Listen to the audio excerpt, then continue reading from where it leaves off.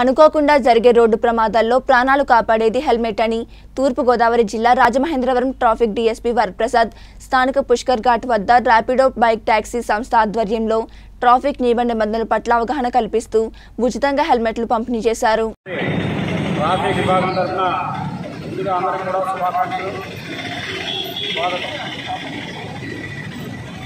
Rapido bike taxi వీళ్ళ ఆధ్వర్యంలో ఈరోజు ఈ హెల్మెట్ ధరించడం గురించి ఒక అవేర్నెస్ ప్రోగ్రామ్ అనేది కండక్ట్ చేస్తాం దీనికి స్పాన్సర్స్ ర్యాపిడ్ బైక్ ట్యాక్సీ వాళ్ళు వీళ్ళ సంబంధించి south India operation manager and architect Shri Sridhar గారు వారి సిబ్బంది ఆపరేషన్ ఏర్పాటు చేయబడింది. ఇటీవల కాలంలో ఈ ట్రాఫిక్ విపరీతంగా పెరగటం. ట్రాఫిక్ విపరీతంగా పెరగటం. అలాగే ఈ టూ వీలర్స్ ఫోర్ వీలర్స్ యొక్క రద్దీ టౌన్ ఎక్స్పెన్షన్ వల్ల విపరీతంగా పెరగడం వల్ల హైవే మీద పెరగడం వల్ల ఈ రోడ్డు ప్రమాదాలు అనేది చాలా విపరీతంగా జరుగుతున్నాయి. ఈ యాక్సిడెంట్స్ అనేవి మెజారిటీ మానవ తప్పిదాలు. ఇటీవల కాలంలో జరిగిన మన డిజాస్టర్ లాస్ట్ త్రీ ఇయర్స్లో ఎంతమంది అయితే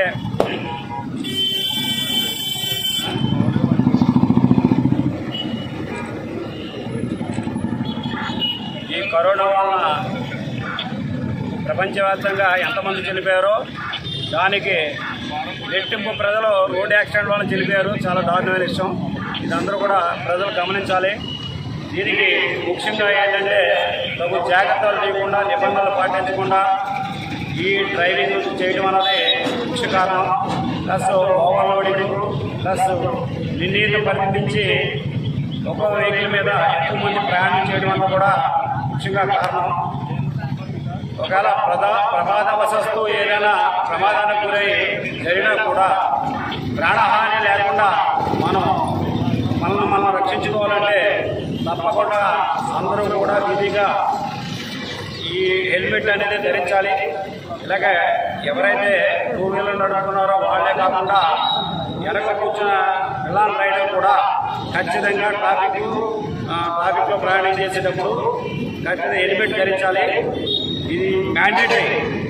ఇది సుప్రీం సుప్రీంకోర్టు డైరెక్షన్ ప్రకారం అందరూ కూడా విధిగా తప్పక హెల్మెట్ ధరించాలి. హెల్మెట్ ధరించడం వల్ల ప్రమాదవశాత్తు ఏమైనా యాక్సిడెంట్ గురైనా కూడా మన మన ప్రాణం పోకుండా రక్షించబడుతుంది. కాబట్టి ప్రజలంతా గమనించి తప్పకుండా హెల్మెట్ ధరించాలి.